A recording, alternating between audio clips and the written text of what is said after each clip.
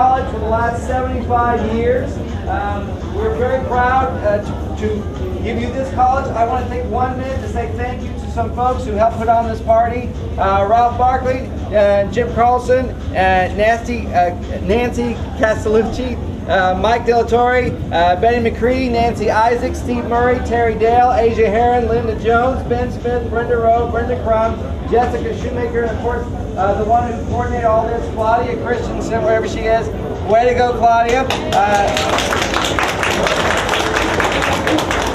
Thank you so much for 75 years here in Chanute, in Ottawa, Independence, Pittsburg. We thank you so much uh, for, for our college. So dig right in, let's start.